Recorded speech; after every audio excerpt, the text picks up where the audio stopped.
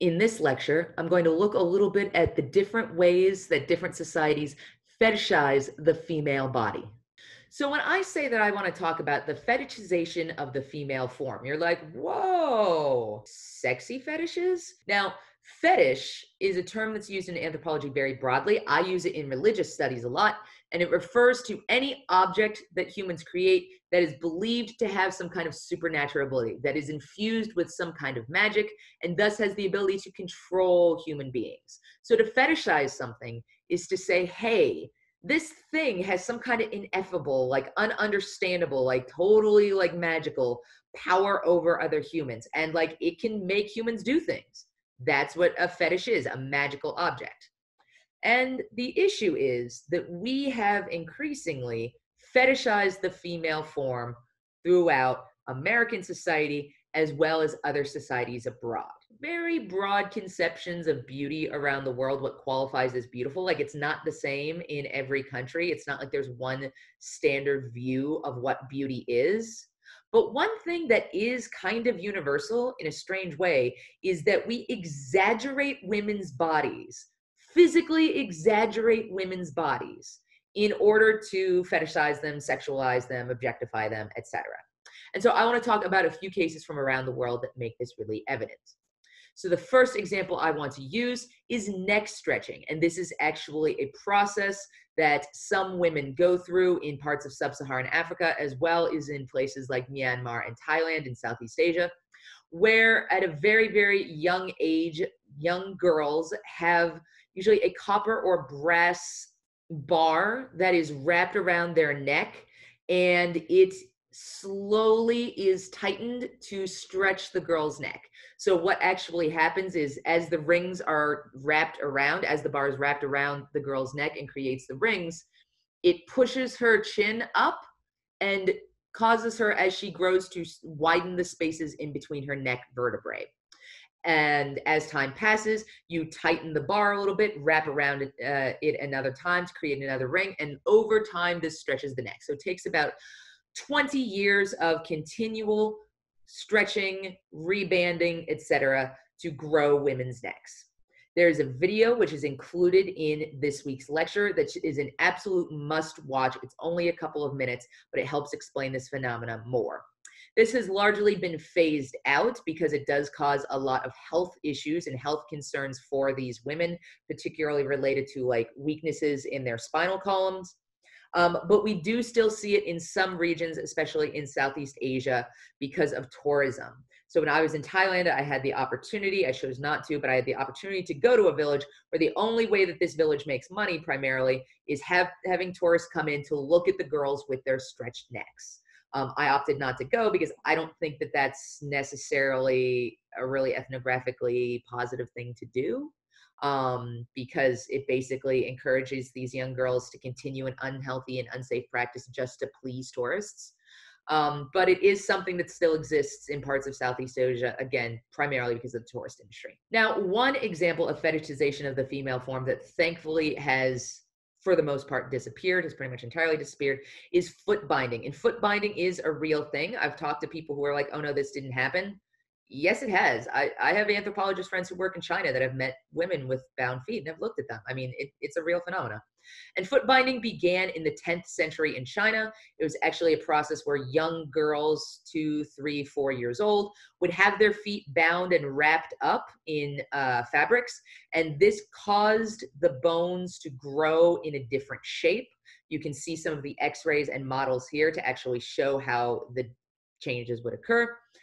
And the end result would be that their toes and the front of their feet would wrap up under their feet, causing their feet to be very, very tiny and petite and pointy in this weird shape. And they would wear these rather cute little shoes that made them look like little dolls, essentially. And if you're asking, like, why would women do this? Not all women did this. Not at all. Not all, most Chinese women did not do this. This was something that only very, very wealthy families did. So like if you were a poor peasant, like you didn't wrap your children's your your little girl's feet because you needed her to work out in the fields with you and she had to be able to walk.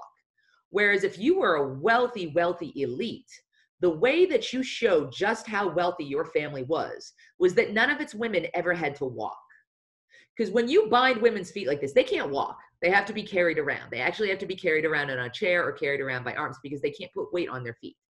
So you essentially are paralyzing these young girls for the rest of their lives.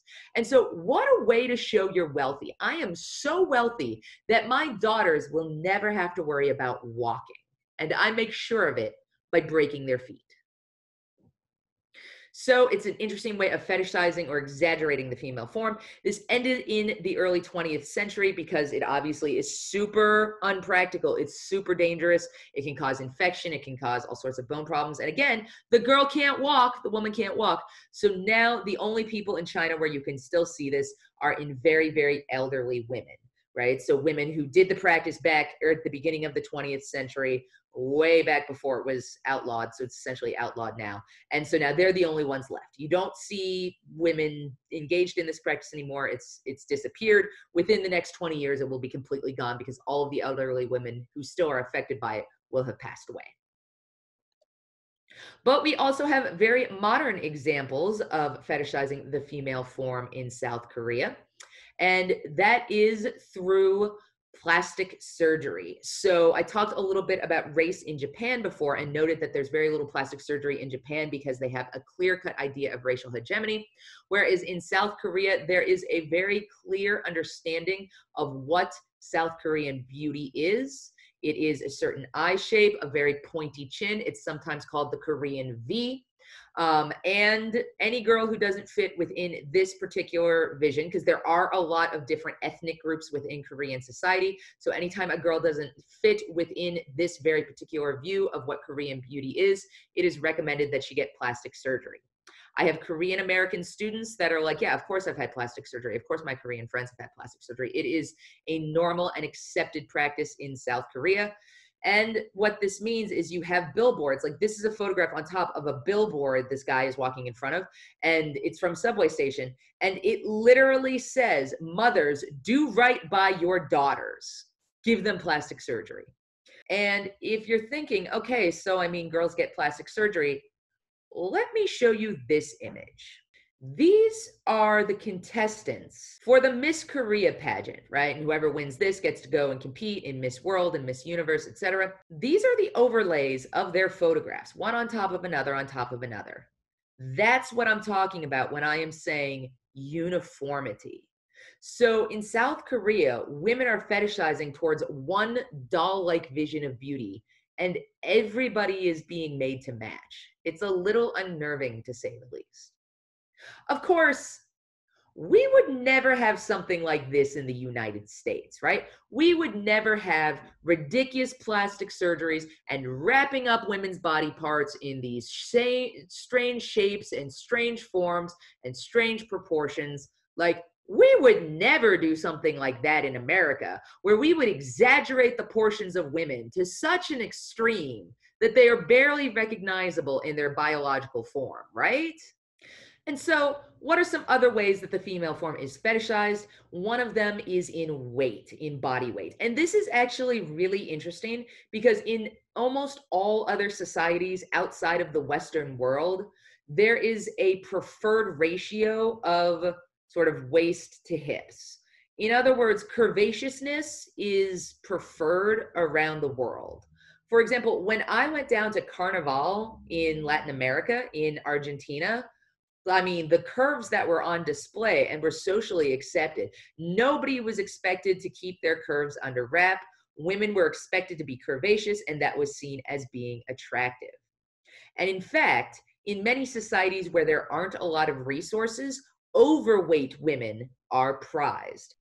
And so it's really only in the West where we have the model of the stick thin, though this has been adopted in other societies thanks to globalization and the passing of American values around, we've now kind of moved in the last 10 years or so back towards the curvaceous model. And so in the US, we are starting to be more like the rest of the world. We've moved away from like the 90s, like heroin chic, and moved back towards a more curvaceous perspective on and another way that we fetishize the female form is through the concept of purity. Now, purity is a universal concept, right? And every society has this idea that things that are pure are good, right? Pure as the fresh fallen snow. And this can be everything from like food purity, cultural purity, language purity, et cetera, et cetera. So this is not necessarily directly related to gender or women or bodies or something like that, except that we do have this con- conception of bridal purity or female virginity.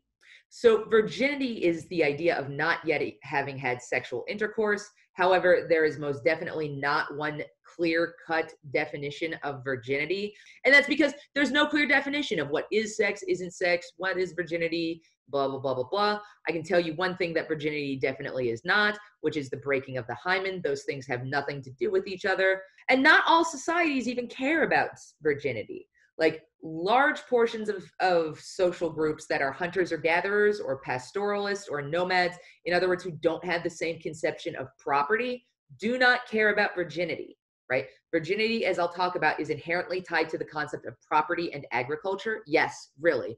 And virginity is tied to agriculture, right? So, a lot of societies that aren't heavily agriculturally based don't care about virginity. When a society cares about virginity, they care about female virginity in other words, they again care about fetishizing the female form, in this case, fetishizing female sexuality. Now, where does the concept of virginity come from? And I like to use the work of Sherry Ortner. She is a political anthropologist and an anthropologist of gender, and a lot of her writings are really seminal in changing the way that we have thought about gender as anthropologists. And she argues look, we only see virginity being important in historical periods and in societies where we care about property. And that's because virginity is really about inheritance. Most societies around the world experience male dominance. And so when property is owned, it is owned by males, right? And this connects to agriculture. If you put all this effort into your land, you want to be able to reap your own crops. And in order to do that, you need to control your own territory. So in male dominated societies, how are you as a male sure that the children that you give your property to after you die, that inherit your property, are actually yours. The only way you can be sure that your kids are actually yours is through the concept of virginity. Make sure that no one has impregnated your wife beforehand and own your wife's reproductive rights. Therefore, the concept of virginity was introduced as a way of being sure that men could control women's sexuality so that they could be sure that their inheritance went to their children. In societies where there isn't a, a, large amount of property, virginity doesn't exist as a concept. So it has nothing to actually do, virginity as a concept has nothing to do with women's purity or how clean they are or how healthy they are or how good they are or whether or not Jesus loves them or whether or not Allah loves them, etc., etc. At the end of the day, Virginity has to do with men being able to control who inherits their property. But as societies become more and more open with new ideas of inheritance, now that more and more women are able to own property and control who they want to have inherited, etc., the concept of virginity becomes more and more antiquated.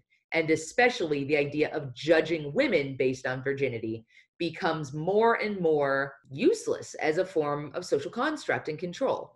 It ultimately just becomes another way to shame and fetishize women's bodies because we don't need to control women's sexuality in order to control inheritance anymore. We don't even really need to control inheritance every, anymore. We have laws to do that. But we still feel the need to fetishize and shame women's bodies, and virginity is a way that we do that. Okay, thank you very much. And if you have any questions about gender, please feel free to contact Dr. C. She would love to answer them for you. All right, thanks for listening.